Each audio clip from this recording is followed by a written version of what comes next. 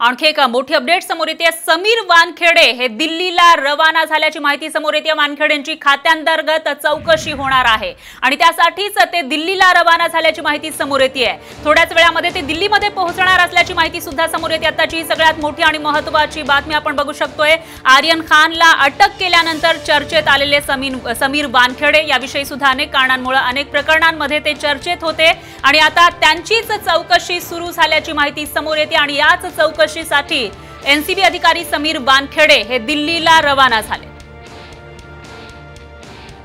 आणि याविषयी अधिक माहितीसाठी आपले प्रतिनिधी संतोष शाळीग्राम हे आपल्यासोबत फोन लाईनवर आहे. संतोष काय सांगाल?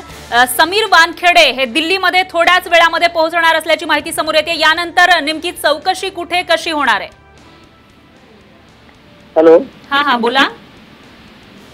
संतोष संतोष समीर वानखेडे हे मुंबईवरून निघालेले आहेत दिल्लीसाठी. तिथं ते थोड्याच वेळानंतर पोहोचणार असल्याची माहिती समोर येते. पुढे नेमकं काय होऊ शकतं? दिल्लीत एनसीबीचं आर के पुरमला हेडक्वार्टर आहे. तिथे त्यांना बोलवण्यात आलेलं आहे. म्हणजे हे आता थोड्याच वेळात लँड होतात असं समजतं आहे. आणि प्रभाकर साहिलने जे आरोप केलेले आहे त्याची गंभीर दखल दिल्लीतही घेण्यात आलेली आहे.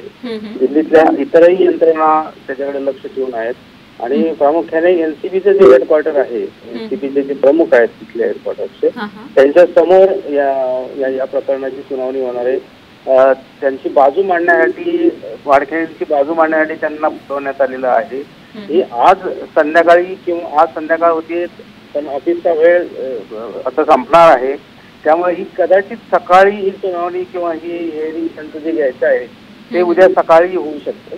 आर के पुरमला त्या एनसीबीच्या हेडक्वार्टरमध्ये त्यांची ही सगळी चौकशी होईल. निश्चितच. संतोष धन्यवाद तुम्ही दिलेल्या या सविस्तर माहितीसाठी. तुमच्याकडून याविषयीचे अपडेट आपण घेत राहू.